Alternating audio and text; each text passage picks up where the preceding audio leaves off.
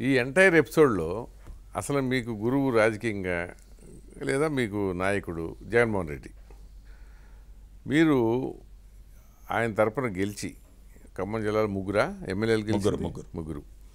మీరు అందరూ కలిసి కట్టకట్టుకుని బీఆర్ఎస్లోకి అప్పటి టీఆర్ఎస్లోకి వెళ్ళాలని నిర్ణయించుకున్నప్పుడు వెళ్ళి చెప్పారా? చెప్దామని వెళ్ళాను నేను. అంటే నాకంటే ముందే ఇద్దరు ఎమ్మెల్యేలని తీసుకెళ్ళిపోయాడు. కేసీఆర్. కేసీఆర్.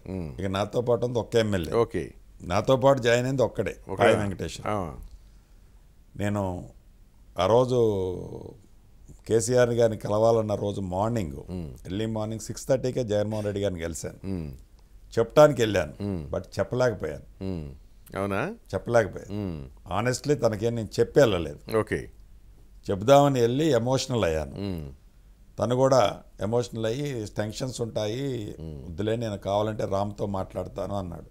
సరే ఈయన కేటీఆర్కి ఫోన్ చేశాడు కేటీఆర్ లిఫ్ట్ చేయలేదు రామ్ అంటే తారక్ అంటాడు కదా. అదే. తారక్ రామ్ ఇట్లా రెండు అంటుంటాడు. ఓకే. మాట్లాడతాను ట్రై చేశాడు. ట్రై చేసిన తర్వాత తను లిఫ్ట్ చేయాలంత ఎర్లీ మార్నింగ్. లిఫ్ట్ చేయకపోతే తను తను కూడా టూర్లో వెళ్తున్నాడు ఆ రోజు. ఐ థింక్ నరసరావుపేట అనుకుంటా. మాచర్ల. ఏదో ప్రోగ్రామ్ పెట్టుకుంటే అక్కడికి వెళ్తాడు సిక్స్ ఫార్టీ ఫైవ్కి. అరౌండ్ సిక్స్ ఫైవ్ సిక్స్ టెన్కి కలిశాను morning. Okay ten fifteen minutes ఉన్నాను నాతో పాటు రమ్మన్నాడు. రాలేనులే అన్న ఆగిపోతాలే ఇక్కడ ఆయన అన్నాను. ఉమ్, బట్ నేను చెప్పలేదు ఉమ్. తర్వాత కలిసారా మరి? ఆఫ్టర్ సిక్స్ మంత్స్ తర్వాత ఢిల్లీ వచ్చిండే. అక్కడ ఢిల్లీలో కలిశాను. ఏమనలేదా? ఇక అంటే అప్పటికి కూడా అంతా అయిపోయింది కదా. అంత అయిపోయింది. ఆ, జరగాల్సిందంతా జరిగింది. తర్వాత ఎప్పుడో నవ్వుకుంటా ఒక టూ ఇయర్స్ తర్వాత మళ్ళీ ఢిల్లీలోనే కలిసి ఉంటాను ఒక రోజు. అంటే అప్పటికే ఈ గ్యాప్ టైం టు టైం కనిపిస్తుంది. అంటే ఇబ్బంది పడుతున్నానని తను గ్రహించాడు. ఏం సీను ఎలా ఉన్నావు ఏంటి అన్నప్పుడు అన్న ఏదో ఉంది జరిగిపోతుంది కాలం అన్నాను అన్ని తొందరపాటే ఉన్నది. అప్పుడు నువ్వు తొందరపాటు నిర్ణయం తీసుకున్నావు అన్నట్లు ఫీ ఆ మీనింగ్ వచ్చేటట్లు అన్నాడు. సర్లేండి అయిపోయింది అది అయిపోయింది కదా. బట్ ఆఫ్టర్ ఎలక్షన్ మొన్న నైన్టీన్ ఎలక్షన్ తర్వాత మళ్ళీ నేను ఒకసారి నేను విజయవాడ క్యాంప్ ఆఫీస్కి పోతాను వన్ టు వన్ కూర్చున్నప్పుడు తెలంగాణ మీద నీ అభిప్రాయం ఏంటంటే ఐఎమ్ నాట్ ఇంట్రెస్టెడ్ సీను. తెలంగాణలో ఎట్టి పరిస్థితుల్లో మళ్ళీ పార్టీని పెట్టడం కానీ ఉమ్, పార్టీని డెవలప్ చేయాలన్న ఆలోచన కూడా నాకు లేదని చాలా స్పష్టంగా చెప్పాను ఓకే. ఉమ్. అట్లా. అంటే వాళ్ళిద్దరూ బాగా క్లోజ్ కదా ఇప్పుడు కేసీఆర్ను జగన్. అంటే సరే జగన్మోహన్ రెడ్డి గారి స్వభావం కేసీఆర్ గారి స్వభావం మీకు తెలుసు నాకు తెలుసు. ఈ కేసీఆర్ గారు అనే వ్యక్తి ఎవరితో ఎప్పుడు ఎన్ని రోజులు సాహసం ఉండేదనేది మనకు తెలియదు కాదు. దోస్తులు గాటానికి ఎక్కువ టైం పట్టదో. ఇందాక మీరే అన్నారు. అవును. మండ వెంకటేశ్వరరావు గారు లాంటి ఇంటికో ఇంకొకళ్ళ ఇంటికో అవసరం ఉంటే ఎవరింటికైనా ఎక్కడికైనా మీ ఇంటికైనా వస్తాడు. ఫ్యాక్షన్ ఫ్యాక్షన్ ఆఫ్ సాక్ అంటే ఒకటి ఒక్కసారి రెండుసార్లు రాధాకృష్ణ గారు కానీ శ్రీనివాసరెడ్డి కానీ నమ్ముతారు ఒక మనిషిని. ఎంత మీరు నా ఇంటికి వచ్చినా నేను మీ ఇంటికి వచ్చినా నా మీద అభిప్రాయాన్ని అయితే మార్చుకోలేరు కదా. కానీ మీరు అందరూ మర్చిపోతున్నది ఒకటి ఉంది. కేసీఆర్ లాంటి మాటల మాంత్రికుడు ఒక మనిషిని మామూలుగా ఏంటంటే ఒకసారి మోసపోగలం అంతేగాని మళ్ళీ మళ్ళీ మోసపోలేము అనేది మన సామెత సామెత ఉంది. కదా? కానీ కేసీఆర్ లాంటి మాటల మాంత్రికుడు ఒక మనిషిని ఎన్నిసార్లైనా మాయ చేయగలడు. అంటే ఒక ఐదు నిమిషాలు టైం ఇస్తే చాలు అతనికి. టైము టైం ఇచ్చి టైం ఇస్తే చేసే క్యాపబిలిటీ ఉన్న మనిషే.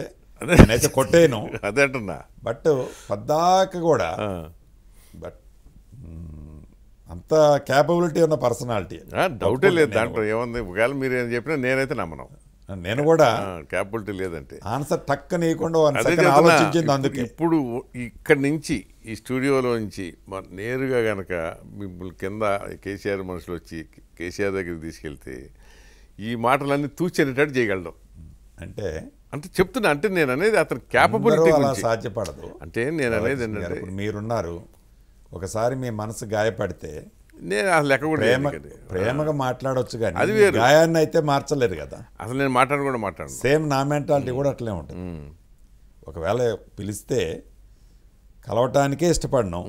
నిజంగా పిలిచినా కూడా కలవటానికే ఇష్టపడినాం.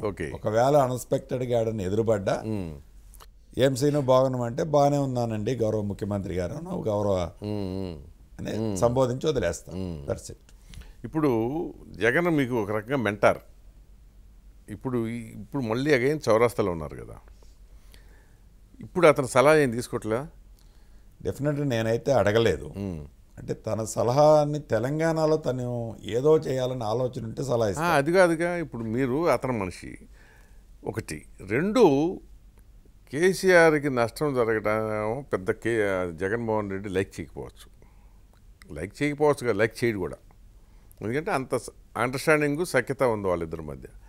సో ఇప్పుడు మీరు అక్కడి నుంచి బయటకు వచ్చి బీఆర్ఎస్ నుంచి ఇటు కాంగ్రెస్కి వెళ్ళినా ఇటు బీజేపీకి వెళ్ళినా ఏదో ఒక పార్టీకి ఎలాగ తప్పదో వెళ్ళారనుకోండి. అది ఇండైరెక్ట్గా రేపొద్దున ఎవరైనా అనొచ్చు. సపోజు కాంగ్రెస్లోకి వెళ్తే బీజేపీ వాళ్ళు జగన్ని అడగొచ్చు. ఏమయ్యా మీ వాడిని కాంగ్రెస్ పంపించావేంటని. సరే ఇటు బీజేపీలోకి వచ్చారనుకోండి కేసీఆర్ జగన్ అడగొచ్చు. ఇక్కడ రోజు చేస్తా మళ్ళీ బీజేపీలోకి ఎందుకు తోలేవని చెప్పి. ఇది ఉంది కదా అందుకని అతను ఏదో ఒకటి మీకు సలహా ఇవ్వకుండా ఉంట- ఉండడు కదా. తప్పకుండా నేను మీరు అన్నది బయట అనుకునే దాంట్లో నిజమా లేదని నేను అనను. కానీ తన మెంటాలిటీ నాకు తెలుసు కదా. ఈ అంటే రెండు వేల పంతొమ్మిది పార్లమెంట్ ఎన్నికల టైంలో నాకు టికెట్ ఇవ్వమని జగన్మోహన్ రెడ్డి గారు కేసీఆర్ గారిని అడిగాను అడిపించా నేనే కూర్చొని అడిగిపించా. అదే అదే. నేను ఇవ్వటం లేదు అని చెప్పాడు. అవును మీకు మీ తరఫున ఫోన్ చేసాడేమో కదా? హండ్రెడ్ పర్సెంట్ ఫోన్ చేసి మాట్లాడాడు. కేటీఆర్ తోటి? కేటీ- కేటీఆర్ కాదు కేసీఆర్ తోటే. కేసీఆర్ తోనే మాట్లాడాడు. అంటే కేటీఆర్కి చెప్పాల్సిన పరిస్థితి లేదు. నాకు ఇవ్వాలని పాపం ప్రయత్నం చేశాడు.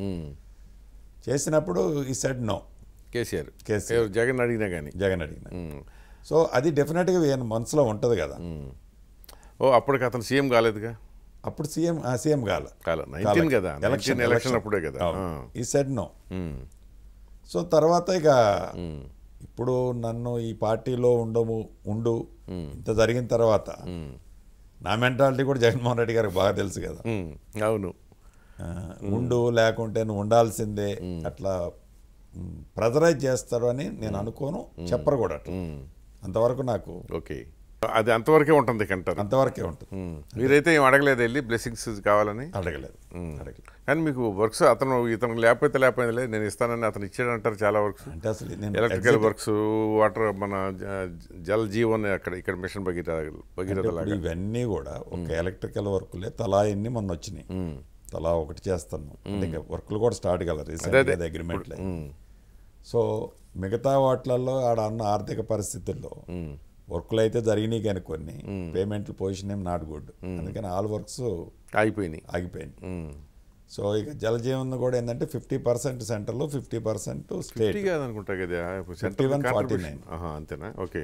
వీళ్ళ దగ్గర డబ్బులు ఏమన్నాయి మళ్ళీ అదే అంతే ఫార్టీ నైన్ టైఅప్ అయితేనే ఫిఫ్టీ వన్ వస్తుంది. అవును. ఫార్టీ నైన్ టైప్ అవడానికి ఎక్కడ ఉంది అందుకనే అవి కూడా ఏమి స్టార్ట్ అవ్వలేదు.